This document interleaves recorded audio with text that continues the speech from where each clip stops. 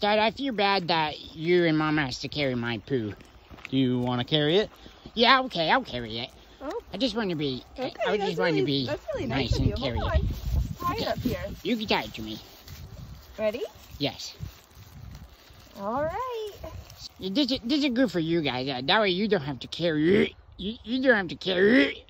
Okay, mom, mom take it, take it off me. Yeah, no, I don't want it. It stinks. It's Uh-oh. okay to it. Uh, it's gonna No, take it me a stinks. while. No, don't get it off, mom. I can't do it. I- No, you gotta take it off.